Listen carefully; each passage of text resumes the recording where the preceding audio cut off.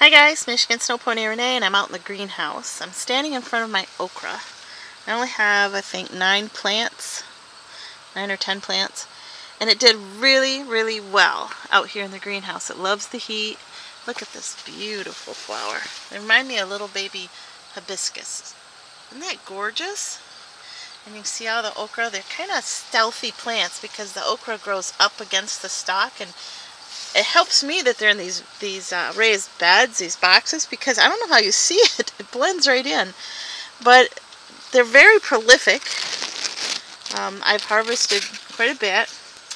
But unfortunately, I'm not getting a big thumbs up from the family on the okra. We tried it raw and everybody was kind of neutral. Tim says, oh, it tastes like a bland green bean. And so then I thought, okay, I'm going to try cooking it. And I didn't just boil it. I went and looked at some recipes online and the consensus seemed to be the best way to cook it was to um, drench it in buttermilk and then roll it in cornmeal. And I even ground my own cornmeal and I made up a pan. Here, take a look.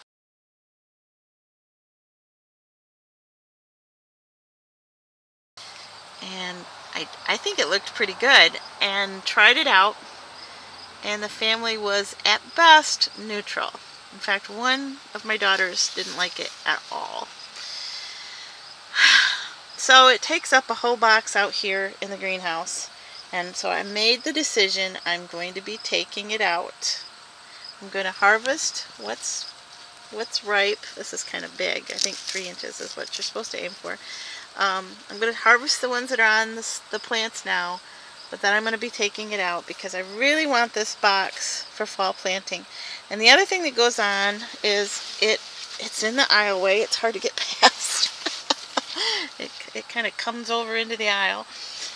And it's shading my little parsnips, which are in this box. So I think they'll do much better if this isn't here blocking the sunlight. Yeah.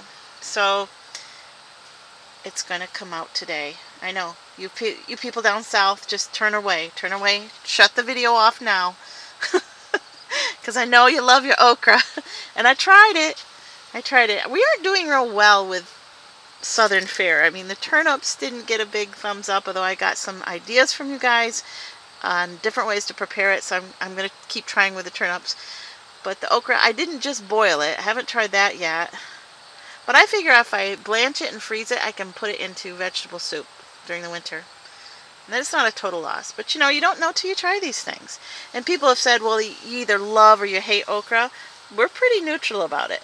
And for the space that these big plants take up in a garden, I mean, even if they weren't in these my raised beds, um, they do produce pretty well for the size of the plant, but still they take up a lot of space. So they gotta go and I'm probably gonna be putting some lettuce or spinach in here for fall.